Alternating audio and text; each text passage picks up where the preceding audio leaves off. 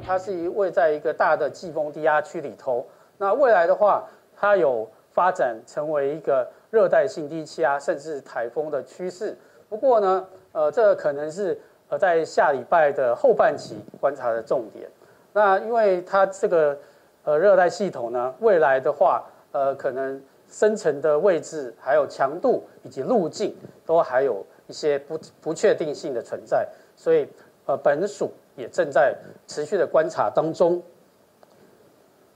那至于今天晚上呢，赏月的这个条件来看的话，呃，今天就是在基隆北海岸还有东北部地区，呃，晚上呃，因为云量比较多，再加上水汽比较多的关系，所以呢，赏月是稍微有些困难的。不过在其他地区，像是桃园以北的北部地区，还有花东附近这一带，呃，赏月还是有机会的，就是可以在云缝当中，呃，这个断断续续的，还是可以欣赏到月亮。那至于在新竹以南的地区，呃，虽然可能在午后可能有一些热对流啊，不过到了晚上的时候，呃，基本上这些热对流的云系就会逐渐散去，所以。呃，大致上可以欣赏到皎洁的明月。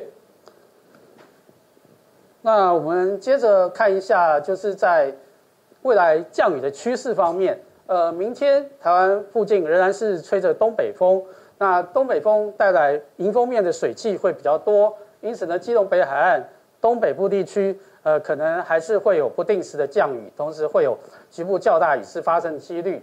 那另外在呃。桃园以北地区，还有花东附近这一带，也有不定时的短暂阵雨。那在呃中南部地区，则是呃可能午后会有局部短暂雷阵雨出现。那山区的地方，并且可能会有午后较大雨势发生的几率。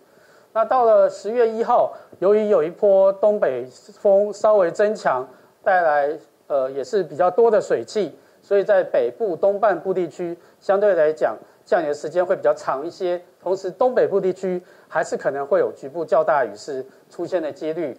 那至于在西半部地区，还是以午后局部雷阵雨的天气形态为主。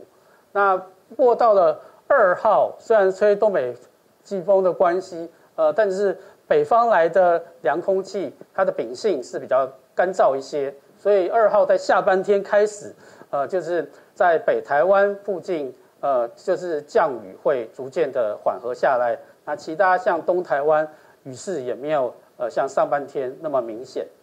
呃，不过午后在二号的时候还是要注意一下。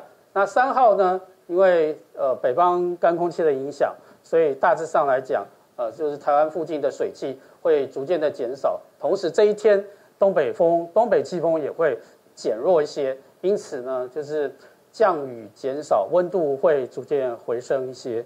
那到了后面，呃，四号、五号，因为就是呃那个热带系统呢，它走的路路径到目前并不是相当的明朗，所以就是我们还必须再观察一些时候。不过这个是就是在下半这个是下礼拜的下半周是呃就是观察的一个重点。